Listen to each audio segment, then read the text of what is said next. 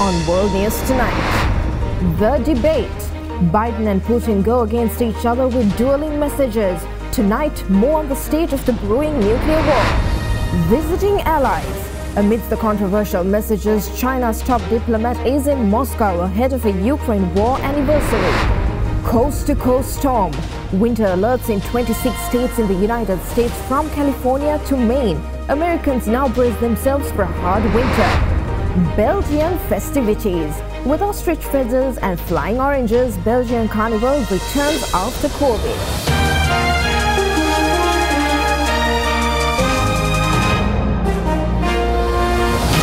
This is Ada Derana World News Tonight. Reporting from Colombo, here is Suzanne Shanali. Good evening, and you're joining us on World News. And we're reporting tonight on the diplomatic discrepancies between the three main world powers the Russian Federation, the United States, and China. President Joe Biden's trip to mark the anniversary of the war in Ukraine highlighted an even more grave challenge, a new era of simultaneous and sometimes intertwined U.S. confrontations with nuclear rivals Russia and China. Joe Biden, who was on the world stage in Poland, offered a blistering condemnation of Putin directly taunting the Russian president for underestimating the resolve of NATO to stand with Ukraine in its war with Russia. Russian president, on the other hand, has said that he is suspending his country's participation in the 2010 New START nuclear arms reduction treaty with the United States, imperiling the last remaining pact that regulates the world's two largest nuclear arsenals. Fresh from his wartime visit to Kiev, U.S. President Joe Biden rallied NATO allies in Poland on Tuesday, reaffirming unwavering support for Ukraine and committing to bolster the alliance's eastern flank against Russia. One year ago, the world was bracing for the fall of Kiev. Well, I just come from a visit to Kiev, and I can report Kiev stands strong. Biden's speech at Warsaw's Royal Castle comes as the war enters its second year, with no end in sight. Hours earlier, Russian President Vladimir Putin vowed that Moscow would achieve its objectives in Ukraine, accused the West of plotting to destroy Russia, and said Russia was suspending participation in the 2010 New START treaty, its last major arms control treaty with Washington. While Biden said every inch of NATO territory would be defended if it was attacked, he disputed Putin's assessment that the West is a threat to Russia. The United States and the nations of Europe do not seek to control or destroy Russia. The West was not plotting to attack Russia, as Putin said today. And millions of Russian citizens who only want to live in peace with their neighbors are not the enemy. This war is never a necessity, it's a tragedy. Biden spoke after meeting NATO ally and Polish President Andrzej Duda, a vocal proponent of stronger Western support for Kiev. That followed Biden's unannounced trip to Ukraine on Monday, the first time in recent memory a U.S. president traveled to a war zone not controlled by U.S. troops. Earlier on Tuesday, at least one Russian rocket slammed into a busy street in the southern Ukrainian city of Kherson, killing six people, leaving a pool of blood on the pavement beside a mangled bus stop. Moscow has denied deliberately targeting civilians, but cities across Ukraine have been devastated in missile and drone attacks, and thousands of civilians have been killed. Biden condemned the attacks and said the world would not look away from atrocities committed by Russia. A dictator bent on rebuilding an empire will never be able to ease the people's love of liberty.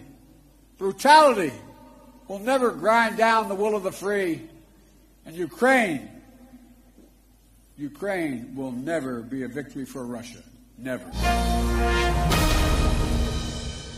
Now, amidst these tensions, China's top diplomat Wang Yi said that he expects to reach a new consensus on advancing bilateral relations with Russia as he visited Moscow just days before the first anniversary of the Kremlin's full-scale invasion of Ukraine. Putin welcomed China's top diplomat Wang Yi to the Kremlin, telling him that bilateral trade was better than expected and could soon reach a $200 billion a year, up from $185 billion in 2022. Wang Yi told Putin that relations between the two countries had withstood the pressure from a volatile international situation and that crisis offered certain opportunities. The relationship between China and Russia, Wang Yi said through the interpreter, was not directed against any third party but equally would not succumb to pressure from third parties, a clear jab at the United States. Chinese weapon supplies to Russia would threaten a potential escalation of Ukraine war into a confrontation between Russia and China on the one side and Ukraine and the US-led NATO military alliance on the other. Wang Yi later met Russia's foreign minister Sergei Lavrov, saying that he looked forward for clinching new agreements during the visit to Moscow. When Xi Jinping met Putin face to face just before Russia sent troops into Ukraine, they sealed a no limits partnership that triggered anxiety in the West. For Putin, China's big power support amid the biggest confrontation with the West since the height of the Cold War allows him to cast Russia's isolation in the West as a tilt towards Asia. For Xi Jinping, Russia is now more dependent on China than ever. Once the leader in the global communist hierarchy, Russia, after the 1991 collapse of the Soviet Union, is now a junior partner to a resurgent China, which already leads in many 21st century technologies. China has released its Global Security Initiative concept paper, which focuses on preventing conflicts and promoting global security while blasting the use of sanctions in foreign policy. The initiative, which was unveiled by the Foreign Ministry, hinges on several core concepts and principles meant to help both China and the international community navigate in what the document describes as an era rife with challenges. It prioritizes UN centered security governance, stating that the Cold War mentality, unilateralism, bloc confrontation, and hegemonism contradict the spirit of the UN Charter and must be resisted and rejected. Countries should also uphold the consensus that a nuclear war cannot be won and must never be fought. The initiative reads, adding that the nuclear powers should strengthen dialogue and the cooperation to mitigate the risk of nuclear standoff. The document went on to stress the need to take the legitimate security concerns of all countries seriously while respecting their sovereignty and territorial integrity. Addressing the conflict between Moscow and Kiev, the paper highlighted the need to support political settlement of hotspot issues such as the Ukraine crisis through dialogue and negotiation. Chinese Foreign Minister Qin Gang said the initiative strives to establish a human community with a shared future and that it is open and inclusive for any nation to join.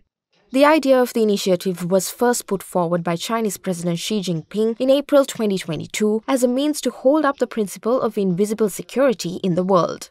This comes one day after China releases a report titled US Hegemony and Its Perils, blasting Washington for escalating the great power competition across the globe, staging color revolutions, and stoking regional tensions under the guise of prompting democracy. China said it was troubled by Japan's military buildup and Tokyo took aim at Beijing's military ties to Russia and its suspected use of spy balloons in the Asian power's first formal security talks in four years. The talks aimed at easing tensions between the world's second and third largest economies came as Tokyo worries that Beijing will resort to force to take control of Taiwan in the wake of Russia's attack on Ukraine, sparking a conflict that could embroil Japan and disrupt global trade. Japan in December said it would double defense spending over the next five years to 2% of gross domestic product, a total of $320 billion to deter China from resorting to military action. Beijing, which increased defense spending by 7.1% last year, spends more than four times as much as Japan on its forces. Tokyo plans to acquire longer-range missiles that could strike mainland China, and to stock up on other munitions it would need to sustain a conflict alongside the large US forces it holds. Leaving Japan's foreign ministry, after the meeting, Chinese Foreign Minister Sun Weidong said that they had also discussed Japan's release of wastewater from the devastated Fukushima nuclear plant into the Pacific and about unblocking industrial supply chains. Following the downing of a suspected Chinese spy balloon by the United States, Japan last week said that it planned to clarify military engagement rules to allow its jets fighting to shoot down unmanned aircraft that violate its airspace. In a statement after the meeting, Japan's foreign ministry said that it had also stressed the importance of peace and stability in the Taiwan Strait. The two countries had agreed to try and establish a direct communication hotline around spring and to strengthen dialogue between their senior security officials.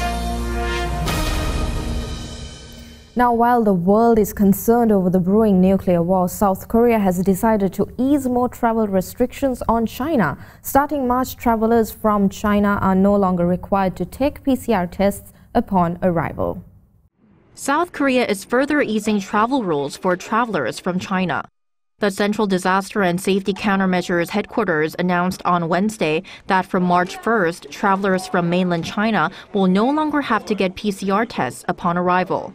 They've been required to get tested within a day of entering the country since January 2nd after Beijing's decision to end zero COVID policies and an uptick in infections in China. Also, from next month, flights departing from China heading to South Korea will be allowed to land at other airports. Flights from China will continue to arrive at Incheon International Airport only until the end of February. The decision was made on the back of the improved virus situation both at home and abroad. South Korea's daily COVID 19 tally last week averaged around 11,599, down 14.4% from the week before. The number of critically ill patients has dropped to around 100 for the first time in seven months.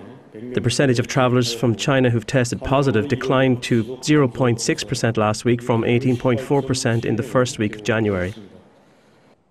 The latest new changes mean there will be only two remaining measures for visitors coming from China proof of a negative COVID 19 test taken before departure, and travelers must provide their contact information to the Quarantine Information Pre Entry System through the Q Code app for effective tracking and tracing.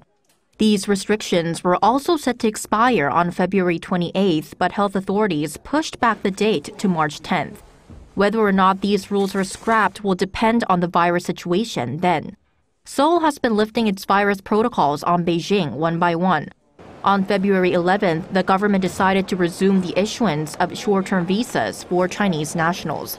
Last Friday, it announced that the number of inbound flights from China would increase from the current 62 per week to 80 by the end of this month, rising to 100 per week from March. We're going into a short commercial break. We'll be back soon with more world news.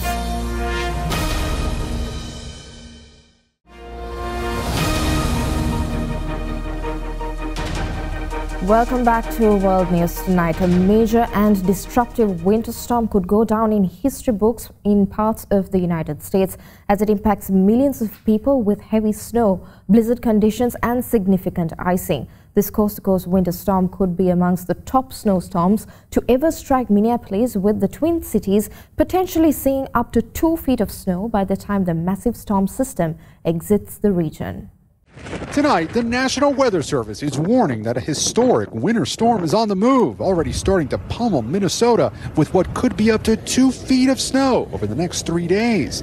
The governor issuing emergency executive orders to prepare the National Guard. We don't uh, overreact, but we also understand that weather can be dangerous, so we take it seriously. The winter wallop slogging across the country from Washington State and Idaho to North Dakota, where there was chaos on I 29, icy, treacherous roads, snarling semis. While in Colorado and Wyoming, whiteout conditions.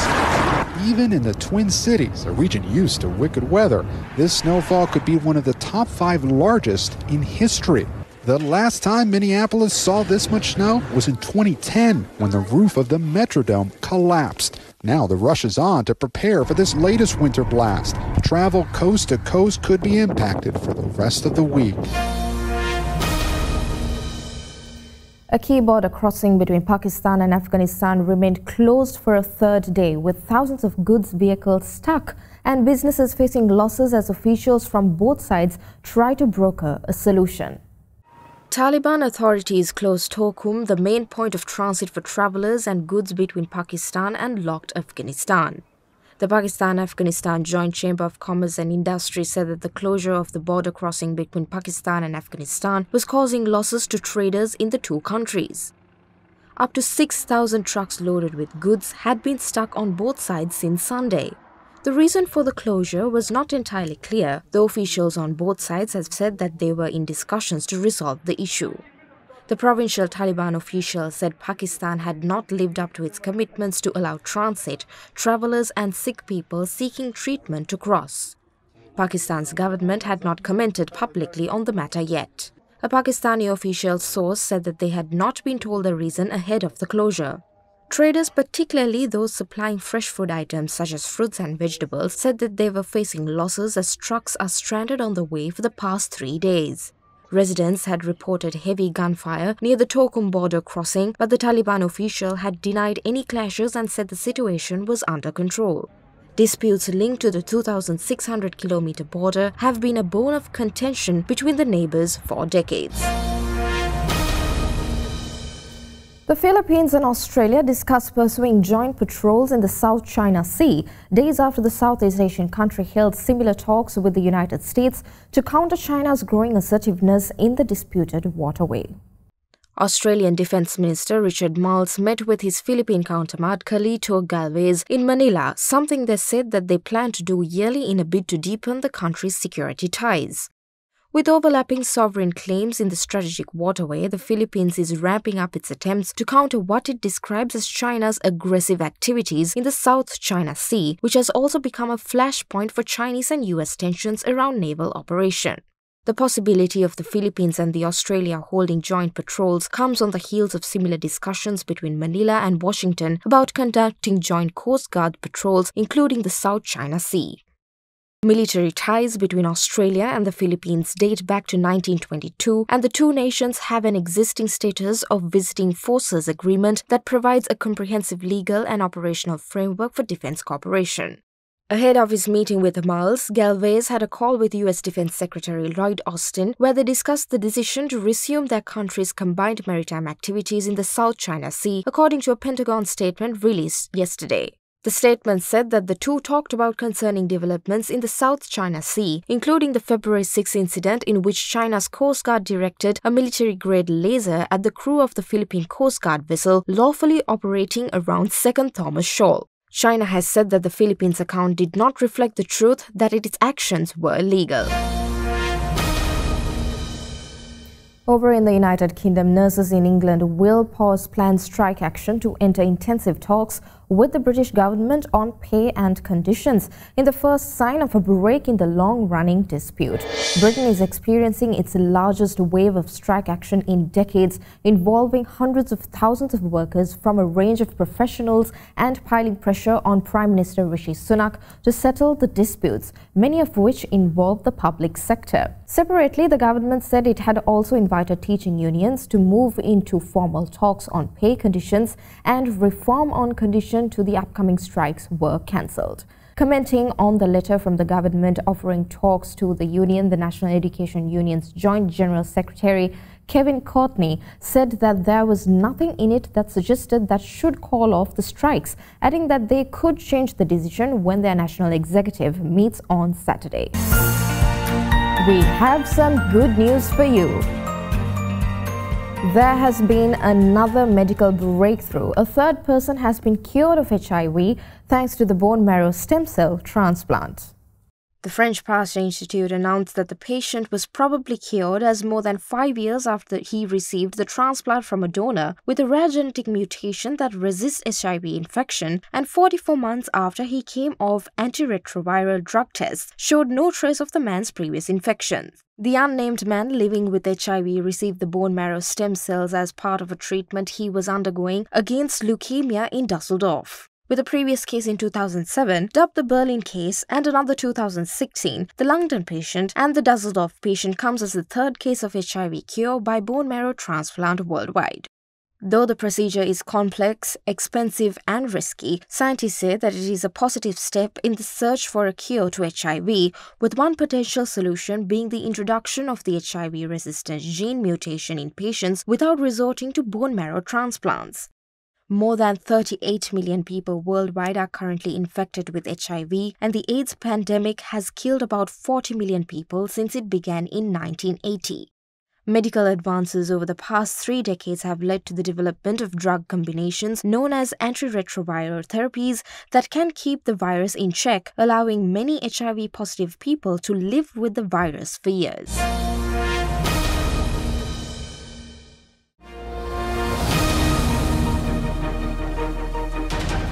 Welcome back and for more news, let's take you around the world in a minute.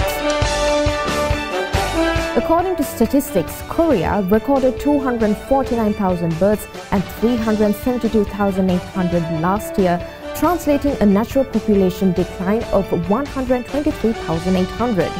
This is the third in the row that the natural population, which excludes immigration or immigration, has fallen. New satellite imagery shows that North Korea may be involved in ship-to-ship -ship transfers in its west coast. Planet Labs Voice of America claimed two more ships were added to the lineup of vessels seen the day prior. European Space Agency is set to peer into the dark universe with a new space telescope. The spacecraft is called Euclid. Euclid will travel to its destination 1.5 million kilometers from Earth to help scientists further study dark matter, dark energy and gravity. Genaro Garcia Luna, a former law enforcement official once in charge of Mexico's fight against drug traffickers, was convicted on U.S. charges that he took millions of dollars in bribes from the Sinaloa cartel. Bird flu has killed tens of thousands of birds, mostly pelicans, and at least 716 sea lions in protected areas across Peru as the H5N1 strain spreads throughout the region. Peru recorded its first case of the virus in November in birds in the north of the country. According to a government data source, it has killed 63,000 birds since then.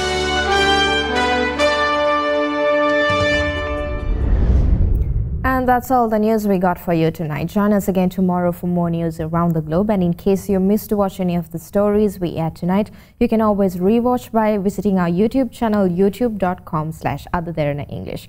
And finally, we leave you tonight with a round of thousand performers cladding in traditional costumes featuring white bats masks and hats adorning with huge ostrich feathers parading to the sound of drums in Belgium's most famous carnival. Thank you for watching, stay safe and have a good night.